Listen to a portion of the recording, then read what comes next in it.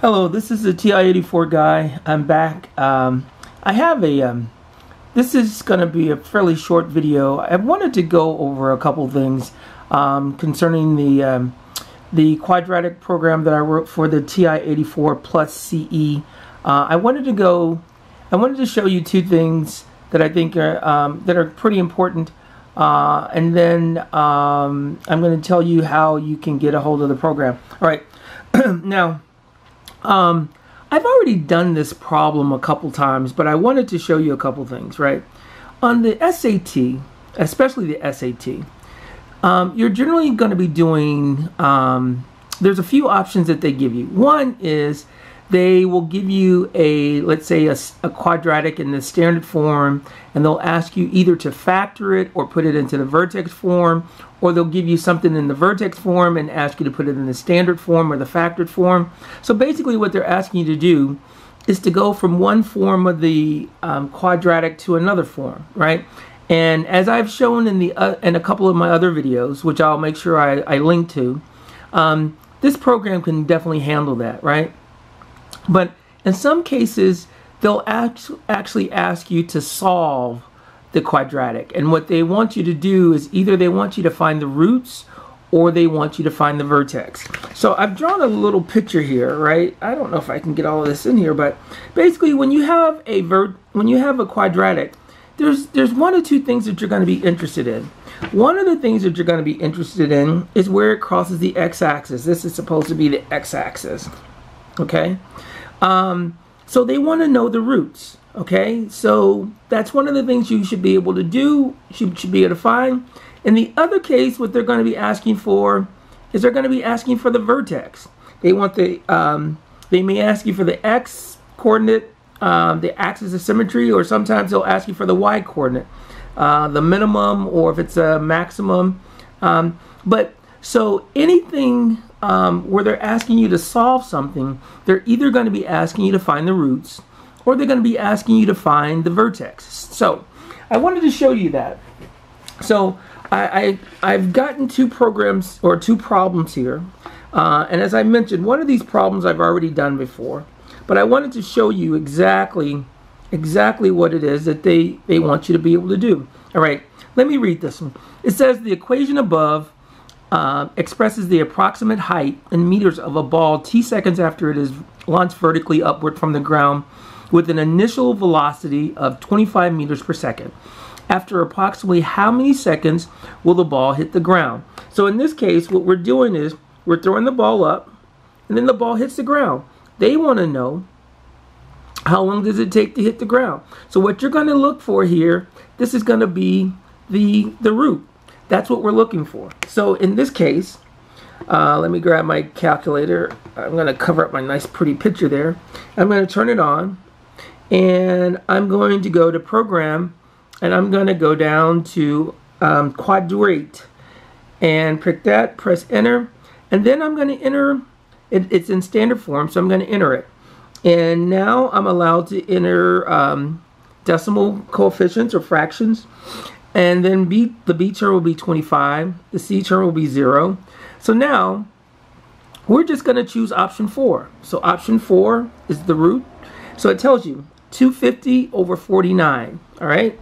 So if you divided 250 by 49, that would be about 5.1. So the answer for this one would be choice D, okay?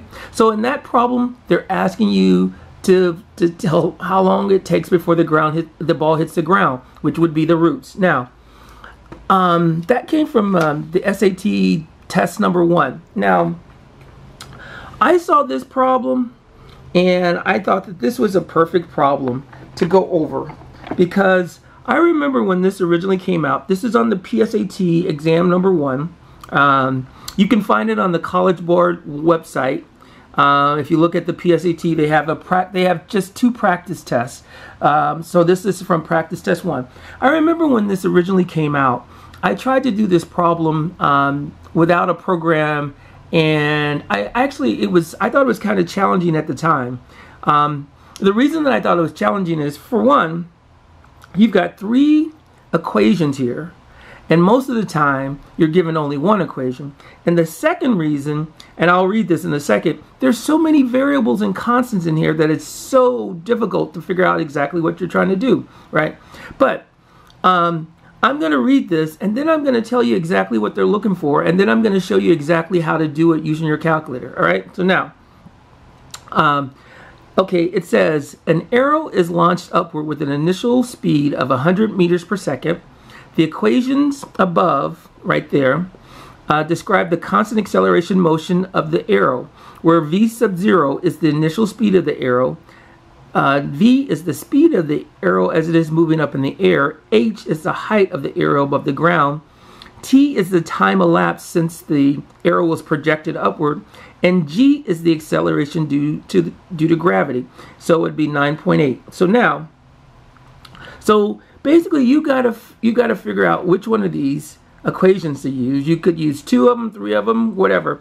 Um, what I realize is that if you really understand um, what's kind of going on, and you can get this into the vertex form, that basically you're going to have the answer for this. So let's look at the uh, question. So question number 30 says, what's the maximum height from the ground that the arrow will rise to to the nearest meter? So they want you to round it to the nearest meter, but they want you to find the y value of the vertex. That's what that represents. Now let's go to the other part. 31, it says, how long will it take the arrow to reach its maximum height? to the nearest tenth of a second. So what they're asking for now is they're, ask, they're asking you for the x-coordinate of the vertex. So if you can get this equation into the vertex form, then the, the uh, answers are there right there. So that's what we're going to do. So uh, let me just write the equation that I'm going to use real quick. It's going to be v sub 0 equals uh, 100 t minus 1 half times 9.8 and then it's going to be t squared. All right, so that's what I'm going to enter. Okay, so I'm going to take my calculator and I'm going to turn it on. Uh, I'm going to press enter again. Let me get this in there so you can see it. I'm going to press the standard and for the um, leading coefficient, I'm going to put in I'm going to type in everything. I'm just going to put a negative 1 divided by 2 times 9.8. That's the um, A term. The B term is going to be 100. And the C term, since there's no constant, you put 0. Now all I'm going to do is I'm going to put it into the vertex form. So I'm going to go option 2. All right? And there you have it. It's in the vertex form. The x-coordinate is 500 over 49.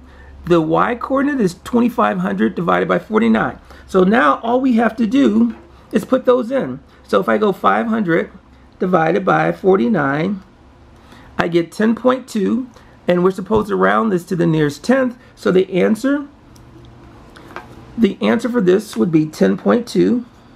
All right, now let's do this one.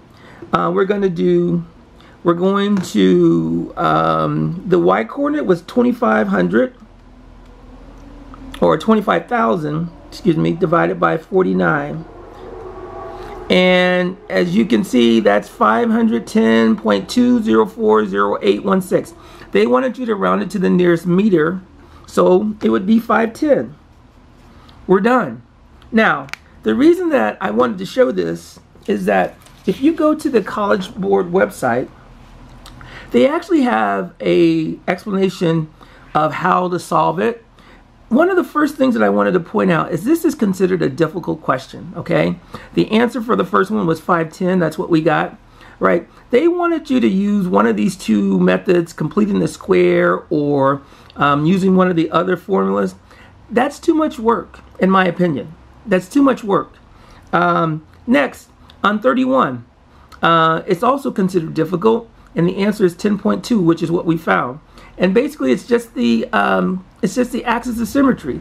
It's just the x-coordinate. So um, these are considered difficult problems. And I must admit, when I originally did this without the program a couple years ago, it did take me a little bit of work to figure out the answers. But with the program now, all you're doing is plugging it in and pushing buttons and writing down what you need to do. It is so much simpler and it's almost um, it's it's almost like shooting fish in a barrel. So if you would like to get a a copy of this program, there's a couple things. Please subscribe. That's the first thing. You have to subscribe. A, pe- a couple people are sending me emails. They haven't subscribed. They haven't liked the video. Second thing, make sure you like the video. I'm trying to reach as many students as I can. I'm trying to help as many students as I can. One of the ways that I can do that is by the likes on the videos get attention, okay? The other thing is send me your email and make sure it, it's spelled correctly. Um, you'd be surprised. I've gotten um, about three or four people sent me requests for the programs and they misspelled their email or they've left the email completely out. So please send me your email address. Make sure it's spelled properly. Make sure you subscribe to my channel. Make sure you like the video and I'll get this to you as soon as possible. I, I've got there's a lot of stuff on my plate right now, but I promise you that I'll get it to you within a day, two at most. Okay, so be patient if I don't get it to you in 24 seconds, but uh, I will get it to you, and um, you know, um, just be patient. Um, also, I plan on putting out a couple other couple more videos before the end of the summer if I can. But um, again, I hope you see the value in this program. I hope you understand why I think with when you select the right kinds of programs and take it in for the SAT or the PSAT or the ACT, you're at such a huge advantage over your uh, other students, all right? Um, so I'm going to sign off, and I hope you have a good day. All right, bye.